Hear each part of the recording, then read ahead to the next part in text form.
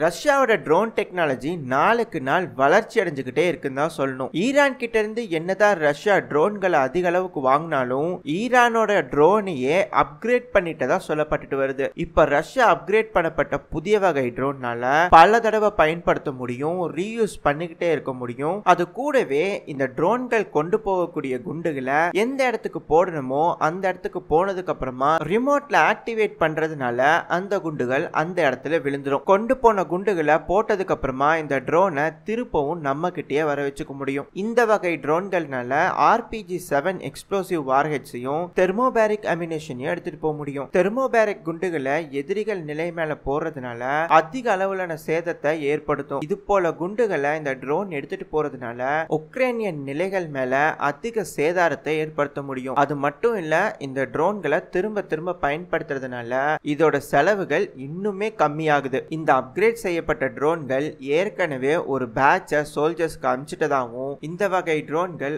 அதிக அளவில் கை கொடுக்குதுன்னு சொல்லியிருக்காங்க. ரஷ்யா உக்ரைன் போர்ல என்னெல்லாம் நடக்குதுன்ற தகவல் உங்களுக்கு உடனுக்குடனே வேணும்னா மறக்காம நம்ம சேனலை சப்ஸ்கிரைப் பண்ணிட்டு கூடவே பெல் ஐக்கான்ல ஆல்ன்ற ஆப்ஷனை செலக்ட் பண்ணிக்கோங்க. அப்பதான் நம்ம எப்போ பதிவை போட்டாலும் உங்களுக்கு இன்ஸ்டண்டா நோட்டிபிகேஷன் வரும். கூடவே உங்களோட சப்போர்ட்டும் உங்களோட கருத்துக்களும் தான் நம்ம சேனலை அடுத்தடுத்த கட்டத்துக்கு உயர்த்தி கொண்டு போகும். எனக்காக நீங்க இந்த உதவியை செய்வீங்கன்ற நம்பிக்கையில இந்த பதிவை தொடங்கலாம். அனைவருக்கும் வணக்கம். நான் உங்கள் செந்தில். இது உங்கள் செந்தில் டிஃபென்ஸ்.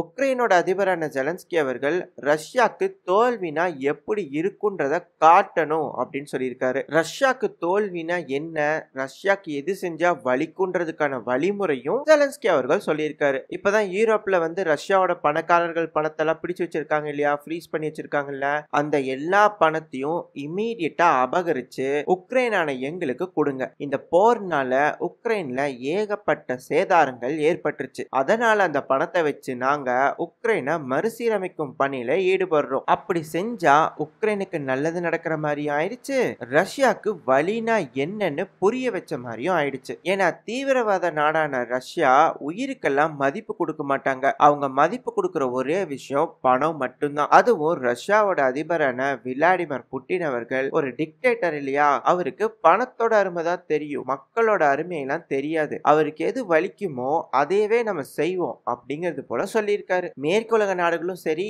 அமெரிக்காவும் சரி சும்மா கெனடாவை வச்சு டெஸ்ட் பண்ணி பார்த்தாங்க. அந்த கார்கோ பிளேனுக்கு எந்த அளவுக்கு ரியாக்ஷன் ரஷ்யா கொடுக்குறாங்க அப்படின்னு சொல்லிட்டு. ரஷ்யா கிட்ட இருந்து பெருசா எந்த ஒரு ரியாக்ஷனும் வராததுனால எல்லா நாடுகளும் இப்ப இதை கையில பிடிச்சிட்டாங்க. நாங்க இதை பண்ண போறோம் நாங்க அதை பண்ண போறோம்னு. ஏன்னா கீழே விழுந்துட்டாங்க. மூஞ்சி ஃபுல்லா மண்ணாயிருச்சு. மீசையில இன்னும் மண்ணோட்டலப்பா அப்படிங்கிற மாதிரி இருக்கணும் இல்லையா? அதுக்கு வேண்டி இது போல காரியங்கள்லாம் செஞ்சுக்கிட்டு இருக்கிறதா டுபாக்கூர் இன்டெலிஜென்ஸ் ஏஜென்சி சொல்லியிருக்கு. இது ஒரு போலி தகவல் தான். நம்புறதும் நம்பாதும் உங்க கையில இருக்கு. ஆனா ஜெலன்ஸ்கி அவர்கள் இப்படிலாம் சொல்லியிருக்காரு. அது உக்ரைனியனோட ப்ராவிடா சைட்ல தான் இருக்கு. உங்களுக்கு அந்த நியூஸோட இமேஜையும் ரோல் பண்ணியிருக்கேன். பார்த்துக்கோங்க பெலரூஸ் அப்புறம் போலாண்ட். இவங்களோட பார்டர் ஏரியா இருக்குல்ல.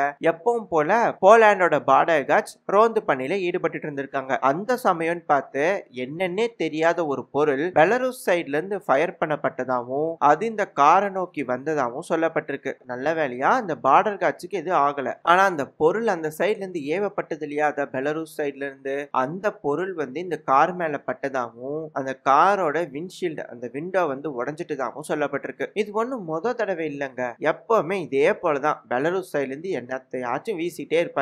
எங்களை உரண்டி இழுக்கிறதே அவங்களுக்கு ஒரு பொழப்பு. அது மட்டும் இல்லையா? இந்த பெலரூஸ் சைட்ல இருந்து போலாண்டுக்குள்ள இல்லீகலா ஃபாரினர்ஸ் நுழைய ட்ரை பண்றாங்களாம். அது கூடவே ஆபீசர்ஸ்லாம் அங்க ரோந்து பண்ணியில இருப்பாங்களே நடந்துட்டு இருக்கும்போது அவங்க மேல கள்ள தூக்கி வீசுறதாமா என்னென்ன சேட்டையெல்லாம் செய்யறாங்க பாருங்க இந்த பெலரூஸ் சைட்ல இருந்து போலாண்ட் கவலைப்படாதீங்க. வான் பண்ணிடுவான் பெலரூஸா ஆனா பார்த்து ஒரு வார்த்தை ஜாஸ்தியா சொன்னா அவர் டங்கு நம்பிடுவேன் இருக்காரு. நியூக்ளியர் பாம்பை. அதனால கொஞ்சம் பார்த்து தான் சொல்லணும். இது போல பெலரூஸ் எல்லாம் செய்யாதீங்க அப்படின்னு சொல்லுங்க. இல்ல வேற ஏதாவது அந்நிய சக்தி உங்க ரெண்டு பேத்துக்குள்ள சண்டையை மூட்டுறதுக்கு பாக்குதான்றதையும் பாத்துருங்க ஓகேவா அதையும் செக் பண்ணிடணும் நீங்க. போலாண்ட் பெலரூஸை கண்டிச்சாச்சு. இதுக்கு மேல பெலரூஸ் சைட்ல இருந்து உங்க கூட எந்த வரண்டி இழுக்க மாட்டாங்க பாருங்க. அது முக்கியமா கல்லெல்லாம் தூக்கி எறிய மாட்டாங்க. ஓகேவா உக்ரைன்ல கக்காவா டேம் அடைஞ்சது இல்லையா? அது அதனால வெள்ளம் கூட வந்துச்சு. அந்த சமயத்துல அங்க புதைச்சு வச்சிருப்பாங்கல்ல கன்னி வெடியெல்லாம் இப்ப அந்த கண்ணி வெடியும் சேர்த்துல அந்த தண்ணி எல்லாம் அடிச்சுட்டு போயிருக்கும். அந்த வெடி எல்லாம் போய் எங்க சேர்ந்து நிக்குதோ எந்த வீட்டுக்குள்ள இருக்கோ யாருக்கு தெரியும்? இப்ப அதனால அங்க இருக்க மக்களுக்கு அதிகமான பாதிப்புகள் ஏற்படுமா? இப்போ அங்க இருக்க தண்ணியும் ஓரளவுக்கு வடிஞ்சிட்டு வருது. தண்ணி எல்லாம் வடிஞ்சு முடிஞ்சிருச்சுன்னா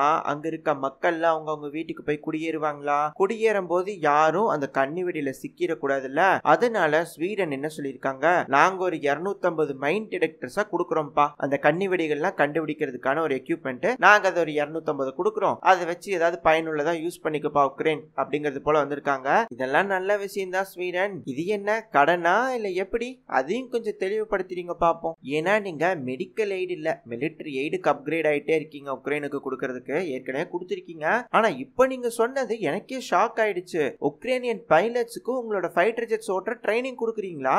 அதுவும் ஜேஏஎஸ் தேர்ட்டி நைன் கிரிஃபன் ஃபைட்டருக்கு ட்ரைனிங் கொடுக்குறாங்களாம். இந்த ஃபைட்டர் ஜெட் ஆயிரத்தி தொள்ளாயிரத்தி எண்பதுகளில் கண்டுபிடிக்கப்பட்டது. இந்த பிளைனை உக்ரைனுக்கு கொடுக்கறதுனால என்ன அட்வான்டேஜ்னா இந்த ஃபைட்டர் ஜெட்டோட மெயின்டெனன்ஸ் காஸ்ட் ரொம்ப ரொம்ப கம்மி. அதனால ஈஸியா உக்ரைனால மெயின்டைன் பண்ண முடியும். அது கூடவே ரன்வேஸ்லாம் பெருசா இருக்கணும்னு நீட் உக்ரைன் நினைச்சாங்கன்னா அவங்களோட ஹைவேஸ்ல இருந்தே இது போல ஃபைட்டர் ஜெட்ஸை டேக் ஆஃபும் பண்ணலாம் லேண்டிங்கும் பண்ணலாம். இப்ப கரண்டா உக்ரைனோட சுச்சுவேஷன் எடுத்து பார்க்கும்போது இந்த ஃபைட்டர் ஜெட் தான் கரெக்டா இருக்கும்னு எல்லா நாடுகளும் கணிச்சு சொல்றாங்க.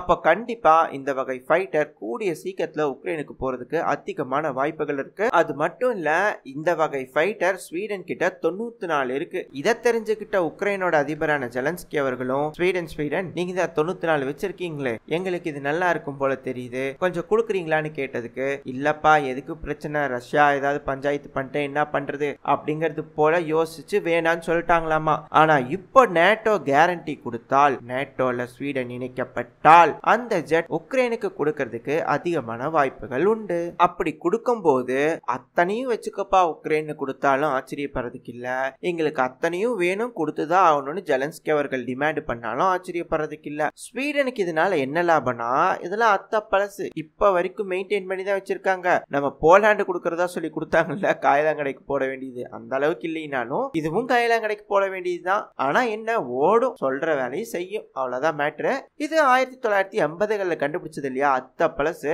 இதுக்கப்புறம் எப்படி இருந்தாலும் இது போல ஃப்ளைட்லாம் ரிட்டைட் பண்ணும். ரிட்டைட் பண்ணிட்டா எங்கே போக போகுது? எங்கேயும் போகாது. அதுக்கு பேசாட்டில் உக்ரைன்ற காயலாங்கடைக்கே கொடுத்துட்டோம்னா சாரி சாரி உக்ரைன்ற நாட்டுக்கு கொடுத்துட்டாங்க அப்படின்னா அவங்களும் ஏதோ வச்சு விளையாடி பார்ப்பாங்க கொஞ்ச நாளைக்கு. ரஷ்யாவும் இந்த ஜட்ஜ் கூட எல்லாம் எப்படி விளையாடுறன்றத நம்மளும் பார்க்க முடியும். ஆனா இதெல்லாம் உடனே நடந்துருமா? உடனே நடக்கிற மாதிரி தான் தெரியுது. என்ன நடக்குதுன்றத பொறுத்திருந்து பார்ப்போம். நான் திரும்பவும் சாரி கேட்டுக்கிறேன். என்னால் அதிகமாக பேச முடியல. ஆக்டிவாகவும் பேச முடியல. எனக்கு தெரியுது இந்த வீடியோ கொஞ்சம் டவுனாக இருக்குன்னு. கொஞ்சம் எனக்கு அட்ஜஸ்ட் பண்ணிக்கோங்க மன்னிச்சிருங்க. அப்புறம் கமெண்ட் செக்ஷனில் ஒருத்தங்க கேட்டிருந்தீங்க அபிராமி அபி அப்படிங்கிறவங்க ஹாய் சொல்ல சொல்லி உங்களுக்கு ஒரு ஹாய் இந்த பதிவு இன்ட்ரெஸ்டிங்காக இருந்திருக்கும்னு நான் நம்புகிறேன் இதே போல் இன்னொரு இன்ட்ரெஸ்டிங்கான பதிவில் உங்கள் சந்திக்கும் வரை ஸ்டே சேஃப் பை பை